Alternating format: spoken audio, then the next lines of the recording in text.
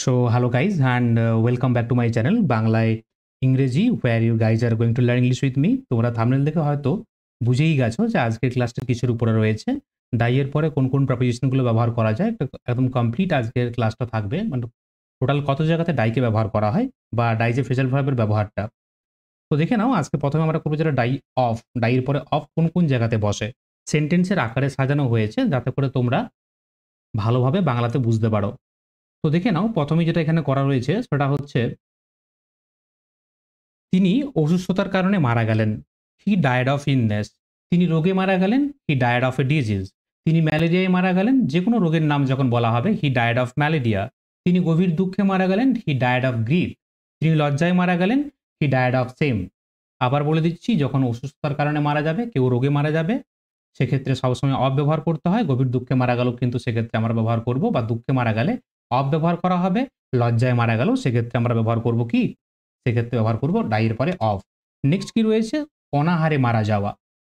He died of starvation তিনি খিদায় মারা গেলেন হি ডায়েড অফ হাঙ্গার তিনি তৃষ্ণায় মারা গেলেন হি ডায়েড অফ থার্স্ট তাহলে অনাহার, খিদা এবং তৃষ্ণা, তৃষ্ণাতে মারা গেল, সেক্ষেত্রে আমরা ডাইয়ের পরে অফকে ব্যবহার করব।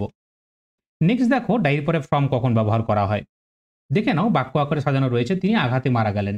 He died from a wound বা he died from an injury তিনি অতিরিক্ত খেয়ে মারা গেলেন he died from over eating তিনি অতিরিক্ত পান করায় মারা গেলেন he died from over drinking তিনি খাদ্য বিষয় খেয়ে মারা গেলেন he died from food poisoning তিনি অতিরিক্ত রক্তক্ষরণের কারণে মারা গেলেন he died from heavy blood shed আবার বলি, আঘাতে মারা গেলে, কোনো ক্ষততে মারা গেলে, অতিরিক্ত খেয়ে মারা গেলে, অতিরিক্ত পান করে খেয়ে মারা গেলে, খাদ্য বিষয় খেয়ে মারা গেলে, বা অতিরিক্ত রক্তক্ষরণের কারণে মারা গেলে সেক্ষেত্রে কিন্তু আমরা ডাইয়ের পরে ফর্ম ব্যবহার করব। মানে ইনডাইরেক্ট যে সমস্ত কারণগুলো হবে মৃত্যু, সেখানে আমরা ডাইয়ের পরে ফর্মকে ব্যবহার করি?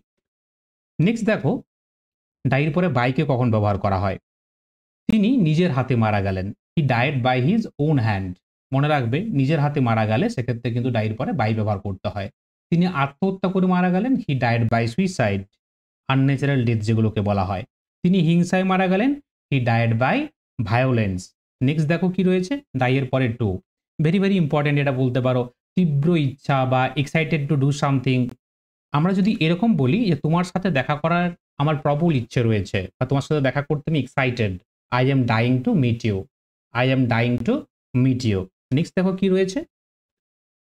ডাই ইন দেখে নাও, তিনি যুদ্ধে মারা গেলেন। He died in a war বা বলতে পারো he died in a battle তিনি যুদ্ধক্ষেত্রে মারা গেলেন, সেক্ষেত্রে হবে ব্যাটল ফিল্ডে he died in the battle field তিনি তার বিছানায় মারা গেলেন। He died in his bed তিনি পথ দুর্ঘটনায় মারা গেলেন। He died in a road accident তিনি কর্মরত অবস্থায় মারা গেলেন। দেখে নাও একটা ইডিয়ম রয়েছে ডাই ইন হারনেস যার অর্থ হচ্ছে ডাই ওয়াইল ওয়ার্কিং মানে কর্মরত অবস্থায় মারা গেল, সেক্ষেত্রে বলতে হয় he died in harness next কি রয়েছে? তিনি শান্তিতে মারা গেলেন। হি ডায়েড ইন পিস তাহলে যুদ্ধ বা যুদ্ধে, যুদ্ধক্ষেত্রে বিছানায় মারা গেলে অ্যাক্সিডেন্টে মারা গেলে বা কাজ করতে করতে মারা গেলে বা শান্তিতে মারা গেলে সেক্ষেত্রে আমরা ডাইয়ের পরে ইনকে ব্যবহার করব। নেক্সট কি রয়েছে? ডাইয়ের পরে থ্রু। দেখে নাও ডাই থ্রু কখন হবে? তার ঠাকুমা অবহেলায় মারা গেলেন। His grandmother died through negligence অনেক বয়স্ক মানুষ অযত্নে মারা যান। A number of old people die through negligence অযত্নে মারা গেলে বা অবহেলায় মারা গেলে সেক্ষেত্রে আমরা ডাইয়ের পরে থ্রুকে ব্যবহার করি। নেক্সট কি রয়েছে? ডাই ফর মহৎ কোনো কারণে যদি মারা হয় মানে কেউ মারা যায়, দেশের জন্য মারা গেলে, আত্মত্যাগ করলে, বলিদান দিলে, তিনি দেশের জন্য মারা গেলেন he died for his country আবার দেখবে, এই যে বিলিফ বলে যে ওয়ার্ডটা রয়েছে এখানে, এই যে বিলিফ বিশ্বাস যখনই দেখতে পাবে বিলিফ সেক্ষেত্রে কিন্তু ডায়ের পরে ফর হবে। তিনি নিজের বিশ্বাসে মারা গেলেন he died for his belief এখানে বিশ্বাস বলতে বলতে পারো, নিজের ধর্ম, নিজের মত বা যেটাকে আমরা ঠিক বলে মনে করি সেই কারণে মারা গেলে, সেক্ষেত্রে কিন্তু ডায়ের পরে আমরা ফরকে ব্যবহার করব। নেক্সট কি রয়েছে? দেখো নেক্সট রয়েছে ডাই উইথ দেখে নাও, সে তার ভালোবাসার মানুষের সাথে মরতে চায়।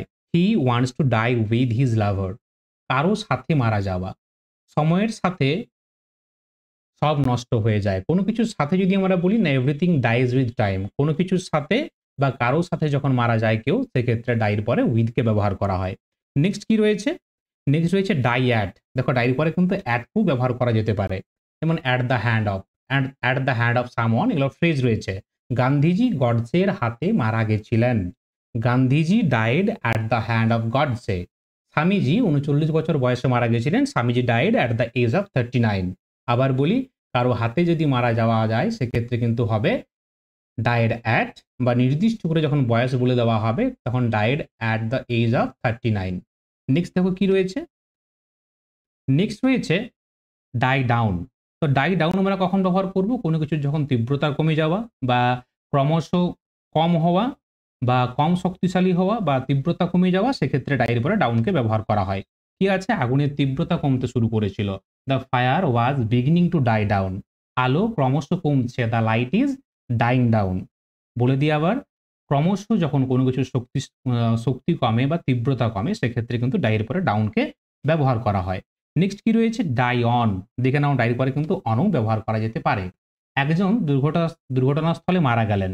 A man died on the spot of accident a man died in the died on the spot of accident আমার ঠাকুমা আমার কাছেই মারা গেলেন। My grand mother died on me তো দেখো, এই যে ডাইড অন মি আমার উপরে মারা গেলেন, এরকম কিন্তু মিনিং হবে না। এটার অর্থ হবে died in presence of me মানে যখন মারা গেলেন, সেই জায়গাতে আমি প্রেজেন্ট ছিলাম আমার ঠাকুমার কাছে। তাহলে my grand died on me next দেখো কি রয়েছে? নেক্সট রয়েছে ডাই আউট ডায়েট কখন ব্যবহার করবে না? ডাইনোসর লক্ষ লক্ষ বছর আগে বিলুপ্ত হয়ে গেছে। Dinosaur died out millions of years ago আমাদের চিরাচরিত জীবনধারা বিলুপ্ত হচ্ছে। Our traditional way of life is dying out মানে কোনো কিছু যখন বিলুপ্ত হয়ে যাওয়া বলা হবে, সেক্ষেত্রে আমরা কি ব্যবহার করব? সেক্ষেত্রে ব্যবহার করব ডাইয়ের পরে আউটকে বা কম প্রচলিত, কোনো কিছুর প্রচলনটা কমে যাওয়া ডিসঅ্যাপিয়ার হয়ে যাওয়া, ক্রমশ অদৃশ্য হয়ে যাওয়া, সেক্ষেত্রে আমরা ব্যবহার করব কিন্তু ডাইয়ের পরে আউট যেমন কি, না, আমাদের যে চিরাচরিত জীবনধারা, সেটা কি হচ্ছে? সেই প্রচলনটা তার কমছে। তাহলে কি হবে? Our traditional way of life is dying out next দেখো কি রয়েছে? ডাইয়ের পরে অফ কখন ব্যবহার করা হবে? ডাই অফ ডাই আউট দুটো কিন্তু আমরা বলতে পারি সিমিলার ওয়ার্ড বলতে পারি। তো ডাইয়ের পরে আমরা আউট কখন ব্যবহার করব? দেখে নাও বাক্যগুলো কি রয়েছে? স্বাধীনতা সংগ্রামীরা একে একে মারা গেলেন। আর একটা কি বাক্য রয়েছে? আর একটা বাক্য রয়েছে, জঙ্গলের হরিণরা সব একে একে মারা যাচ্ছে।